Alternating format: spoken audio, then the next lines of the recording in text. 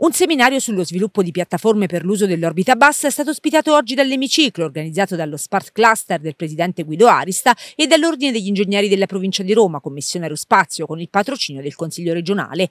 Progetti spaziali e formazione di esperti nel settore sul piatto con oltre 450 partecipanti, molti in remoto. Obiettivo presentare la capacità industriale per progetti futuri di accesso e sfruttamento dell'orbita bassa terrestre. Lo spazio oggi è un settore strategico e all'Aquila ha una lunga e importante tradizione che può determinare anche posti di lavoro in più, occupazione. Molte aziende abruzzesi dell'Aquilano, comunque qui insediate, eh, rappresentano un ambito, quello della cosiddetta space economy, che eh, può intercettare le opportunità che il Piano Nazionale di Ripresa e Resilienza in generale, che riserva risorse importanti per lo spazio, ma anche il fondo complementare eh, Sisma mettono a disposizione.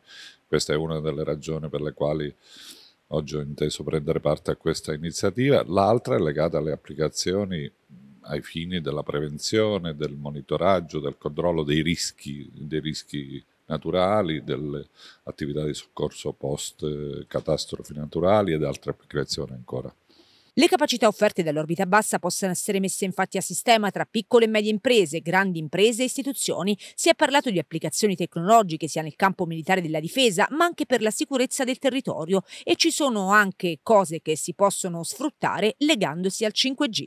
I satelliti a orbita bassa hanno la possibilità diciamo, di innanzitutto di utilizzare delle tecnologie che sono eh, commerciali, quelle che vengono chiamate tecnologie COTS e quindi diciamo, il costo per la realizzazione di satelliti a orbita bassa è molto, molto più basso. Questo fatto qua ehm, copre diciamo, molte applicazioni, dei servizi che vanno dall'osservazione della Terra e quindi diciamo, con un dettaglio molto maggiore, pensiamo diciamo, anche al satellite italiano Cosmo SkyMed, che eh, ha un'orbita di 620 km, anche se quello è un satellite grande e molto costoso e quindi con una definizione altissima utilizzando tecnologie SAR.